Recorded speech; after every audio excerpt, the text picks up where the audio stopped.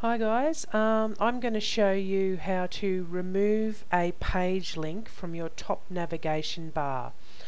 Um, so what I mean by that is if I go to my website here, up the top here, okay, just say I didn't want to show this page. Now in one of my previous videos I showed you how to find a page ID and you're going to need this page ID for this one. So I'll put a link to how to find a page ID um, at the bottom of this post.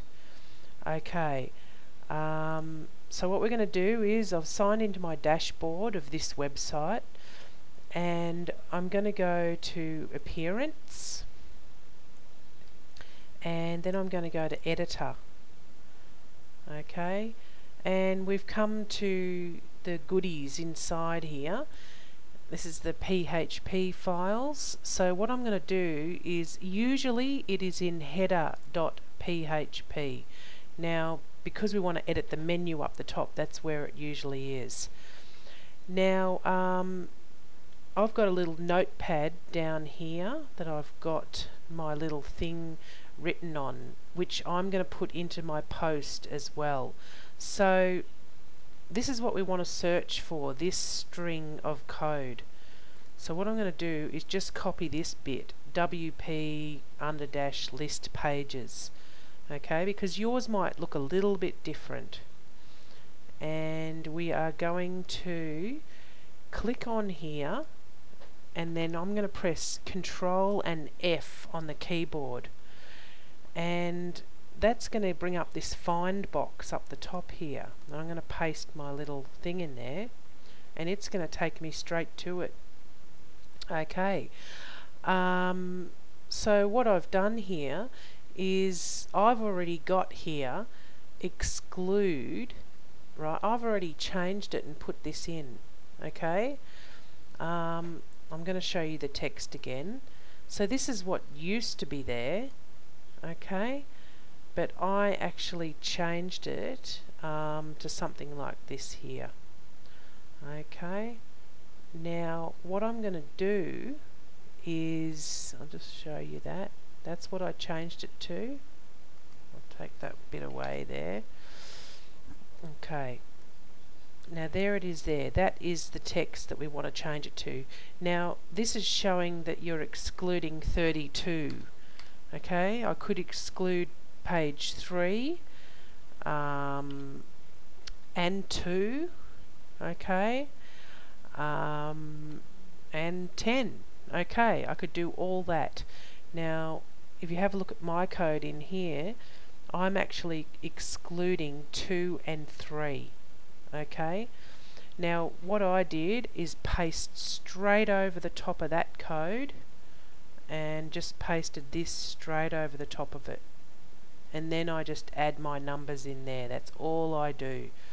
We don't want to get too technical. Now, um, just to be safe, if it is a little bit different to what you see here, um, what I did is I got a notepad and I copied what I was going to remove. So just say I was going to remove this, I copied it and pasted it onto a new text pad. I'll just grab one. Okay. Pasted it on there just in case I wanted to put it back. Okay. And then I went and changed it. Okay. Now I can go and change it to whatever I want. And then I pressed update. Okay. And um, that's what I did. Now I'm going to um, show you how to make this page go away here. And it's actually post 16 which I've already checked out. So all I'm going to do is come in here put a comma. Oop, it moved sorry. And put 16 in there. See that there?